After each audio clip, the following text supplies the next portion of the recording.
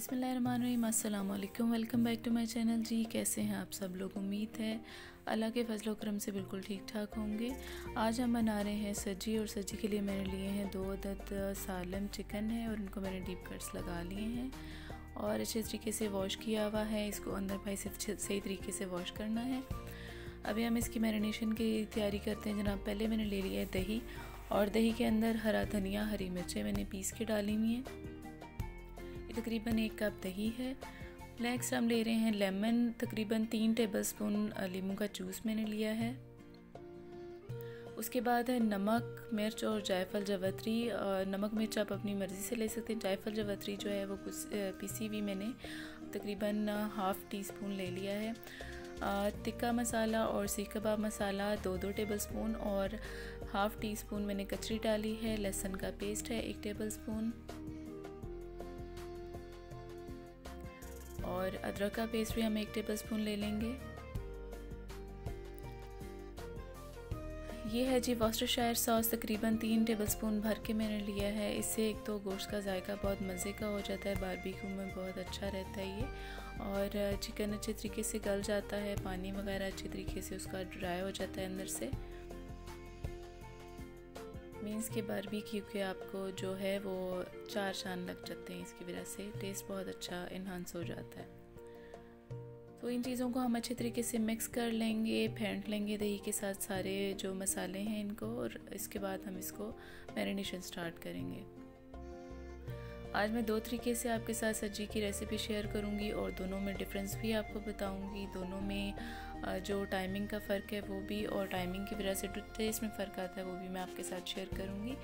तो पहले हम एक चिकन ले लेते हैं, अब इसको हम मसाला लगाना शुरू करेंगे। मसाला मैं हाथ से ही लगा रही हूँ, इसके कट्स के अंदर भी भरना है अच्छे तरीके से और इसको बिल्कुल अच्छे तरीके से जज़ब कर देना है मसाला। और ठीक तरीके से इसको सारी जगहों पे लग जाए।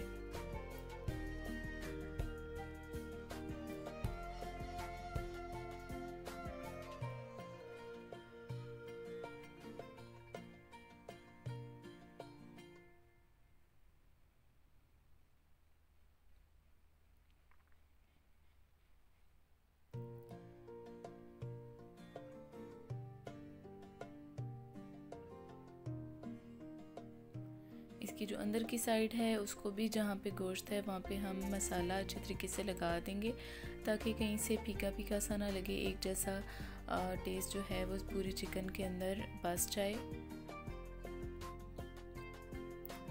दूसरे चिकन को भी इसी तरह से हम मसाला लगाएँगे चारों तरफ़ हर जगह पे मसाला लगाएँगे इसको भी रेडी करेंगे। और इसको हमने आ, कम से कम इसको जो है आपने बीस घंटे पंद्रह बीस घंटे आपने मस्त देने जितना ज़्यादा टाइम आप मसाला लगाने के बाद चिकन को रखते हैं मैरिनेशन को टाइम देते हैं, उतना ही अच्छा इसका टेस्ट जो है वो डेवलप होता है। जितने मसाले यूज़ किए हैं, इनको आप अपनी चॉइस के मुताबिक कम ज़्यादा भी कर सकते हैं। लेकिन ये जो अभी हम यूज़ कर रहे हैं, बिल्कुल एवरेज मसाला है, ये बहुत तेज़ तीखा वाला जो है इसका फ्लेवर नहीं बना। नॉर्मल है जो बच्चे भी खा सकें इजीली अगर आपको तीखा पसंद है तो इनकी क्वांटिटी आप अच्छे तरीके से बढ़ा लें। जितनी आपको पसंद हो उतनी आप बढ़ा लें।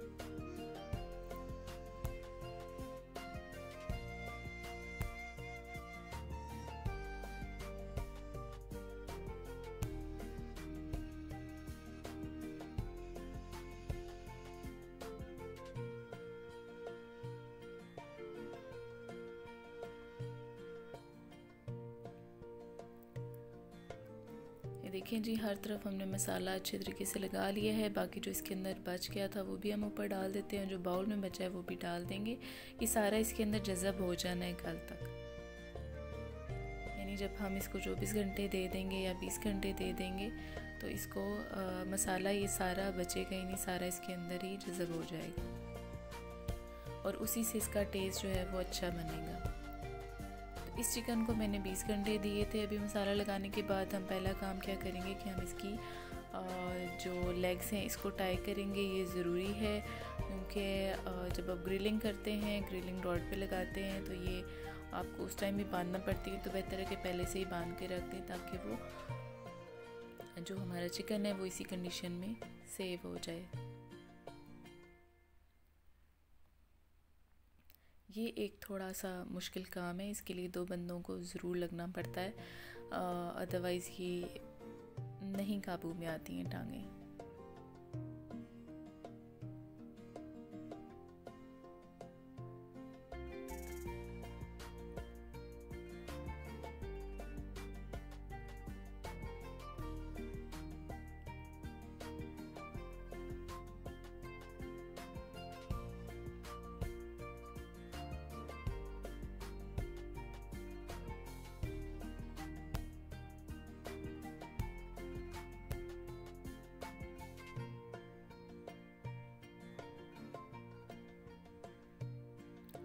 अभी हम इसको विंग्स को भी बाँध देंगे क्योंकि ये जो ये जो दो पार्ट्स होते हैं, इन्हीं का होता है कि ये लटक जाते हैं या गिर जाते हैं।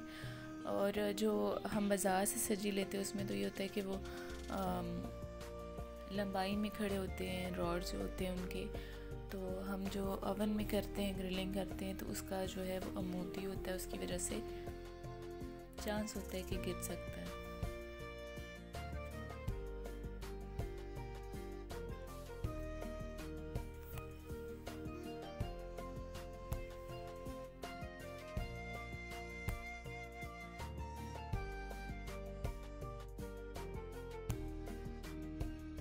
दूसरा जो चिकन है, उसको भी हम इसी तरीके से सेम प्रोसेस से बाँध लेंगे।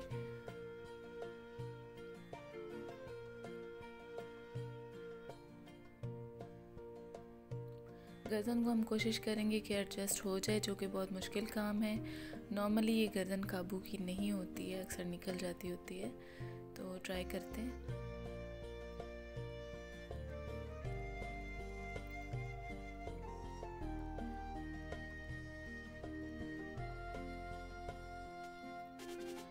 अभी हमने इसको 20 घंटे के लिए रख दिया था और ये 20 घंटे के बाद हमने चिकन को निकाला है और ये इसकी कंडीशन है। अभी मैं आपको अंदर से भी दिखाती हूँ।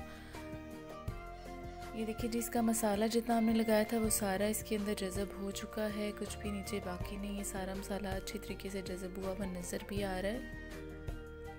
और जिसका पानी था वो भी जितना निकलना था निकल गया था। तो अभी हम इसकी इसको हम स्टार्ट करेंगे कि इसकी कुकिंग की तरफ़ जाएँगे। पहले हमने इसके ऊपर लगाना है ऑयल ऑयल लगाने से एक तो ये कि ये थोड़ा सॉफ्ट हो जाता है। दूसरा ये कि इसका कलर बहुत अच्छा आता है, मज़ेदार यमी सा कलर आता है। तो ऑयल हमने इसको हर तरफ़ लगाना है। हर कोने में इसके ऑयल हम लगा देंगे थोड़ा थोड़ा सा।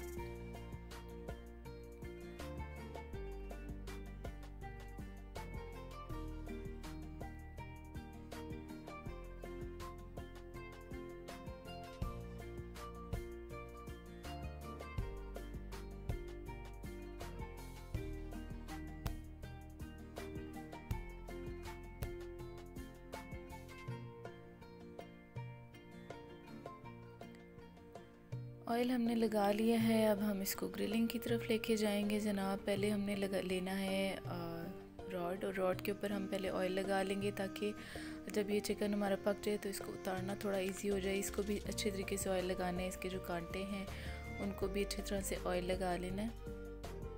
क्योंकि जब ये पक जाता है तो गरम गरम निकालना बड़ा मुश्किल हो जाता है। वैसे तो ये काम मेरे बस का नहीं है, मेरे हस्बैंड करते होते हैं ये काम पहले, लेकिन अब की दफ़ा मुझे करना पड़ गया। और ये चिकन इसके ऊपर लगाना थोड़ा सा ट्रिकी हो जाता है। लेकिन फिर भी ट्राई कर रहे हैं जी, इसको हमने, इसको अच्छे तरीके से फंसाना है। ये जो इसके एजेस हैं, इसको कोर्स के अंदर फंसा हुआ होना चाहिए दैन हम इसको टाइट कर देंगे। इस पर आपने ये ध्यान रखना है कि सेंटर हो इसका रॉड का सेंटर हो, ताकि इसको अच्छे तरीके से ईड लगे, गर्दन को भी कोशिश कर लेते हैं कि इसके अंदर ही एडजस्ट हो जाए। और इसको अच्छे तरीके से टाइट करके, काबू करके हम इसको, जो इसका बोल्ट है, इसको हम टाइट कर देंगे।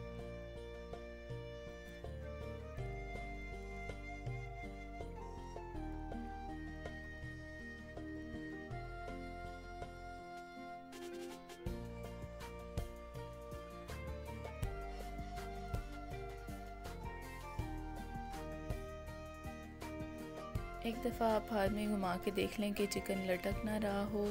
नेक्स्ट हमने इसके ऊपर लगाया है जी ये अलमोनियम फॉयल ये मैं डबल लेयर नहीं लगा रही हूँ सिंगल लेयर ही लगा रही हूँ। लगाने का मकसद ये है कि ये ओवर कुक भी ना हो और जो इसका जितना इसका पानी वगैरह निकलेगा वो इसके अंदर ही उसके अंदर ही ये पक जाए। अगर आपको नहीं पसंद है तो आप इसको, इसके बगैर भी बना सकते हैं। आप यही ग्रिलिंग जो है वो कोयलों पे भी कर सकते हैं। मैं ओवन में करने लगी हूँ। ओवन को मैंने तकरीबन पंद्रह मिनट पहले प्री हीट कर लिया था। अगर आपके पास सुई गैस है तो आपका टाइम तकरीबन लगेगा 45 मिनट तक और अगर आप सिलेंडर यूज़ कर रहे हैं तो आपका टाइम इससे ज़्यादा लग सकता है, एक घंटे से ज़्यादा का। लेकिन अभी हमने खैर इसके अंदर ये लगा दिया और ग्रिलिंग स्टार्ट कर दी है। अवन प्री हीटेड है हमारा।